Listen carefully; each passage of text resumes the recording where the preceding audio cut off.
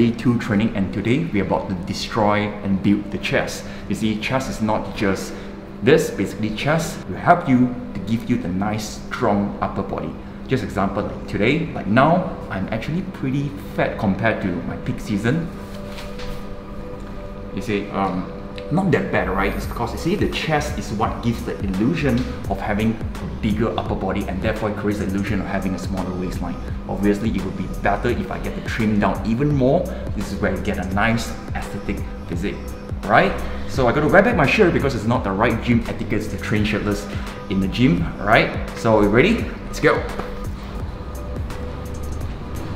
So here, there's another way to warm up is dynamic warm up, right? Shoulder is the key joint for chest. And not just the chest actually is for your entire upper body even for curling for arms day shoulder is very important. So giving a good warm up like just a rotation external rotation is crucial right? Go lightweight no ego 15 repetitions and after that rest and do two warm-up sets of this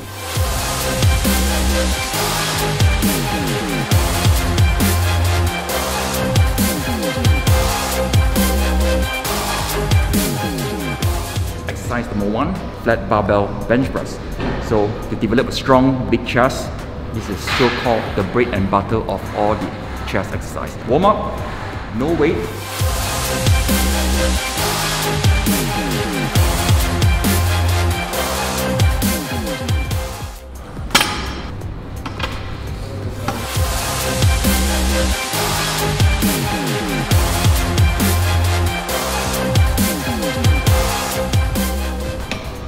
first working set right? So here one tip you want to take home today to make your bench press effective is when you press don't flare up your elbow too high. You see when you do this you will easily round your back and this is where you get injuries right? So instead of doing this try to tuck your elbow down a little bit and expand your chest.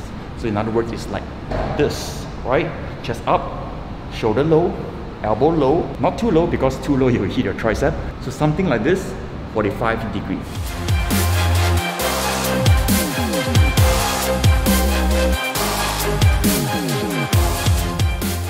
So rest for 90 seconds. Remember, it will be great if you can time your workout. Just get a stopwatch.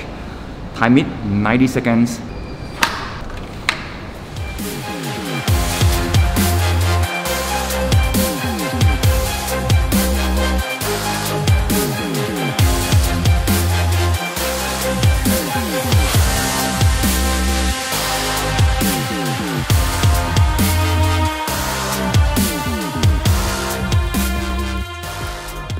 exercise one, four working sets.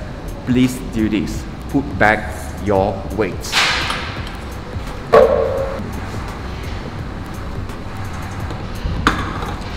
Exercise two, now we're about to do the incline version of the bench press using dumbbell because dumbbell allows you to play with the range of motion and it's very good for muscles imbalance. So only one warm up required and the rest is all working sets.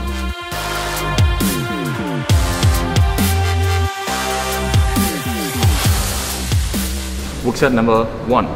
So do about 10 repetitions, try to maintain a good form. Again, practice this. Instead of this, right, this is a slopey form, this, and balance the dumbbell. Make sure you don't close, right? You want to maintain a straight line.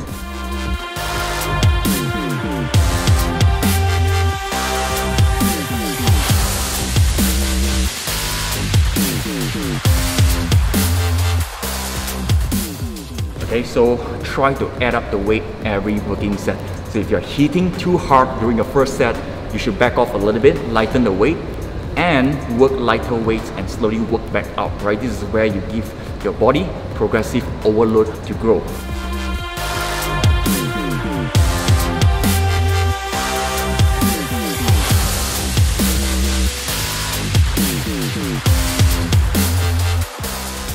Each set you should feel harder and harder.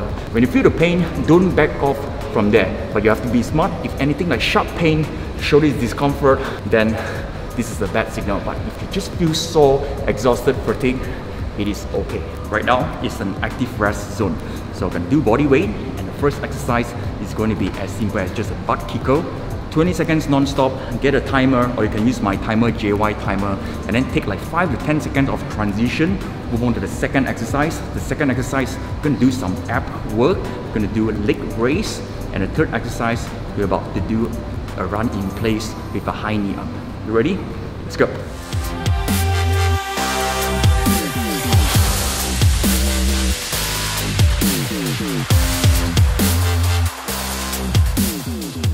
One thing about this exercise leg raise, if you have weak lower back or you have injuries on your tailbone, then I strongly recommend you not to do this exercise. What you can do is you do the opposite version, just like this, on your plank, do a knee raise, like this. Okay, this is friendlier to a lower back, right? Last of all, third exercise, high knee up.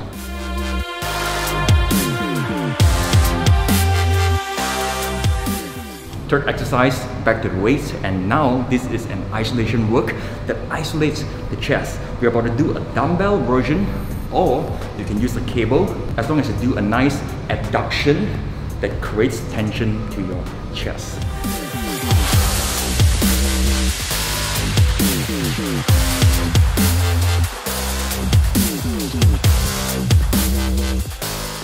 Sixty seconds rest, and when you do this, just imagine you're hugging someone, right? Open up, expand the chest, and squeeze.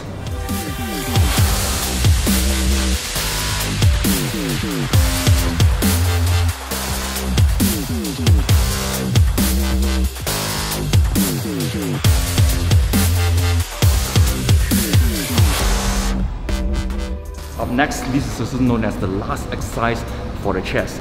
Now, this is an incline version, but it's going to be a modification.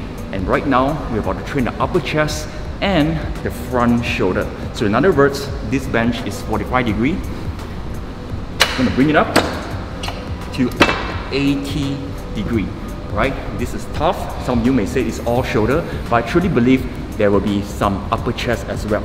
Because of shoulder and upper chest together, this is why I save it at the last. I don't want the shoulder to interfere with the chest earlier.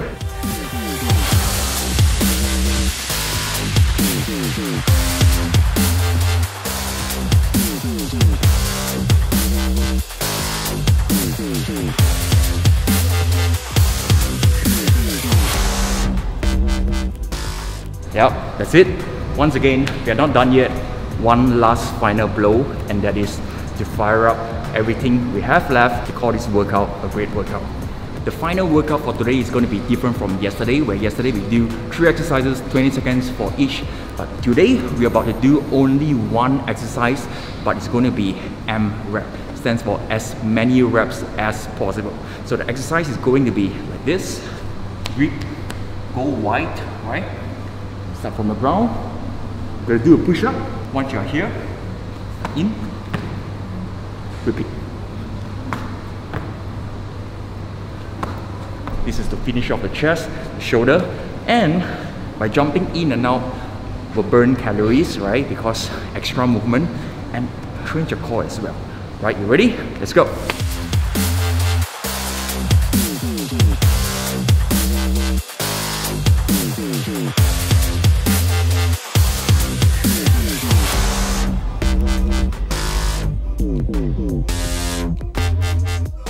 Do until you no longer can execute a proper push-up, call it a set, right? You can do two sets or one set, one or two is up to you.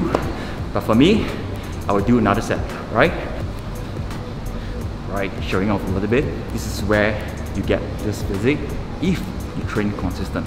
Now, I'm not really done yet. I finished my workout, but I would say recommend you spend at least 5 to 10 minutes to stretch your muscles, especially your just train area, chest, shoulder, and maybe your triceps because it's a secondary one. Right? Now, if you find this series is helpful and you get a lot of benefit from this, you don't want to miss out my training program. Actually, all this is from my training program. It's from the Iron Mastery app. This is where you get so much more than this series, right? That helps you to train from A to Z, to eat right and how you can develop a physique like this. And tomorrow is going to be a hard one. It's going to be a lower body day. So make sure you eat right, rest well, and I'll see you tomorrow.